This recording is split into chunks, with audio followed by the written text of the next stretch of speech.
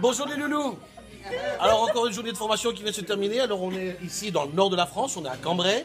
On a passé une super journée. Là, j'ai perdu quelqu'un là de ce côté-là. Voilà, ça y est, c'est parti.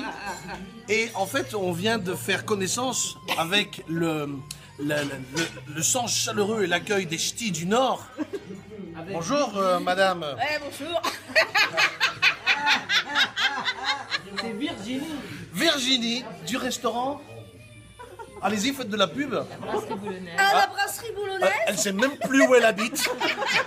Ah. J'habite pas ici moi Depuis qu'elle a touché le bidon. Et en fait, ils ont un sens de l'accueil tellement aigu que madame m'a accompagné aux toilettes, mais jusqu'aux toilettes. Eh oui Et puis vous m'avez insulté. Ah non Si, si. Vous n'avez pas assez de place pour passer, vous avez un petit bidon Et voilà.